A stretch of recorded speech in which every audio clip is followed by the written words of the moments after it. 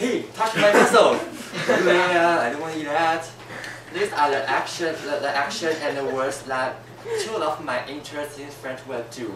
Uh, the uh, first of them uh, uh, like to uh, ask me to touch his muscles, and the second friend always talk me uh, with uh, awkward uh, accent.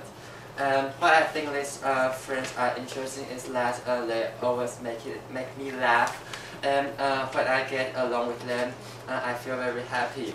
Uh, although uh, everyone think that as uh, awkward or strange, but uh, to me, awkward and strange is interesting. so uh, uh, there are um, my two, uh, there are the two friends that I think that are most interesting. And if you want to know these two friends, you can call me and I can introduce you these two guys to you, uh, to all of you. Thank you.